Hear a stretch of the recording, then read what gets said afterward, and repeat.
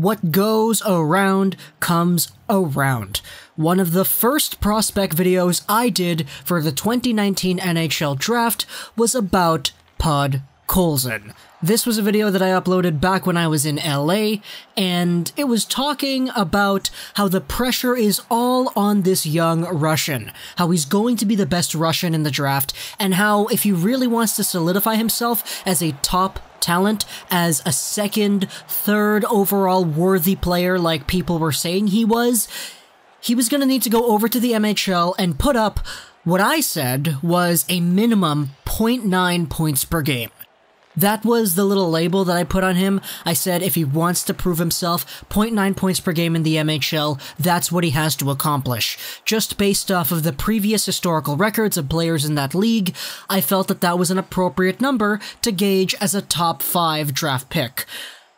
But we're a year removed, pretty much a year removed, nine months ish removed from the Hlinka Gretzky and Podkolzin only had 0.66 points per game in the MHL. In fact, he didn't necessarily have a season that most people would say is worthy of a top 5 spot after all. And people have been kind of asking throughout the season, okay, what exactly is it with Podkolzin? What's the issue here?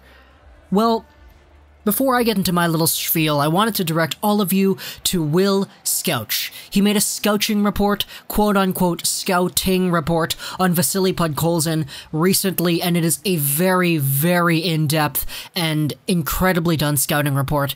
And a lot of what he said bleeds into my thought process too, because I've always wanted to make a video about Podkolzin throughout the year, but I didn't really know when was the appropriate time to do that, nor did I really understand what exactly it was I wanted to articulate. So check out Will and his video, it was great. But I wanted to talk a little bit about what Podkolzin is, what he is not, and what exactly people would like him to be. This was kind of touched on in Will's video, but I'd like to take a look at it here on this channel. Podkolzin, as we saw at the Hlinka Gretzky tournament, is what Craig Button described as a bulldog. Somebody who just goes. He goes and he goes. And he's so powerful and he's strong, hard on his opponents, forechecking all the way out there 110% every step of the way good defensive decision making, and overall just a very overwhelmingly dominant game over his opponents. Dominant in terms of physicality and pressure, not necessarily in terms of offensive skills, but we'll get to that a little bit later. Podkolzin is somebody who thrived in the Hlinka Gretzky tournament because his work ethic was so strong that he was able to take a step up over his U18 competition consistently because those guys, you know, they're other 18 year olds. Podkolzin is probably one of the hardest working players in this draft, aside from guys like Turcotte, Grewe, and Krebs. So, Podkolzin, as a guy with an engine who's always running, is somebody who was able to dominate the U18s with his amazing footline speed and his accurate shot.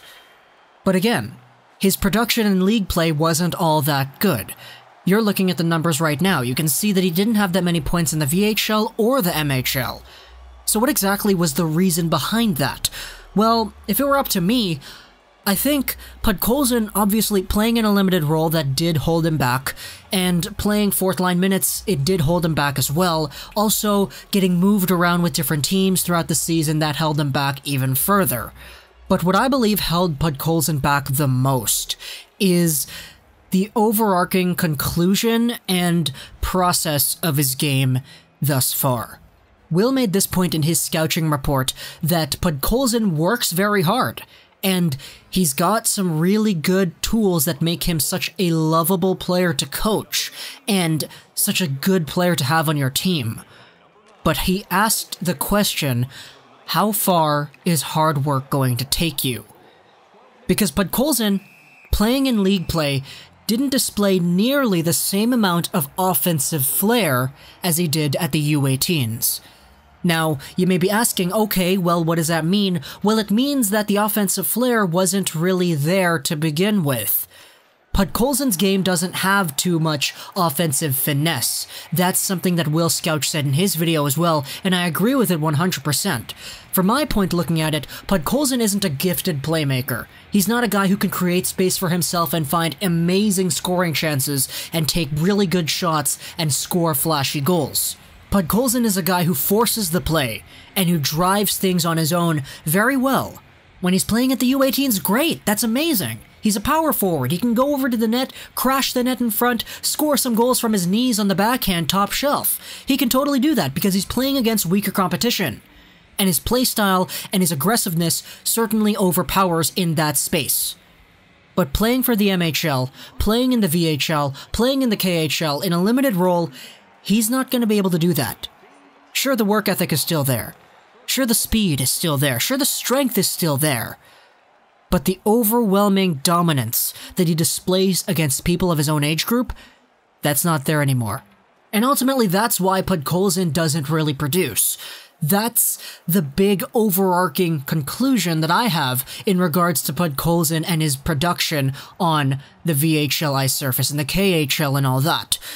His game, while very aggressive, very admirable, and very strong, it's not offensively flashy. And although he has some really good tools, his passing is fairly accurate, his shot is really good, the toolbox isn't necessarily there to produce at the level that he was at. Podkolzin scored some very individual based goals at the Hlinka Gretzky. Goals where he rushed in, dangled, and he scored. Goals where he was on the one timer and he absolutely hammered it. But playing in league play, he's not going to be able to have the space for one-timers all too often, nor is he going to be able to force his way to the net all too often because the competition is better. So if Podkolzin is able to develop his game to a place where either A, he becomes completely dominant over everybody he plays physically, and he overwhelms the majority of the competition wherever he goes, and he exhibits a pure power forward style, or B, he learns the ins and outs of being able to playmake, set things up, do some nifty, shifty, dangerous passes, and get things off that way. Because Scouch said this in his video too, Podkolzin doesn't really do any dangerous passes.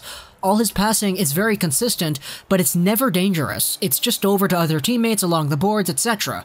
So, in my eyes, I define Podkolzin as a player who doesn't necessarily take the risks that he needs to to get that many points as he can. Because he's got some amazing tools, but the production and the way he uses those tools, it's just not at the same level in league play as it was against other 18 year olds. So overall, that's what I believe the problem is with Podkolzin. Quote unquote the problem. It's not necessarily like a problem problem, but it's just, hey, if you were looking for more points, then this is why he's not getting those. Hope you enjoyed this video.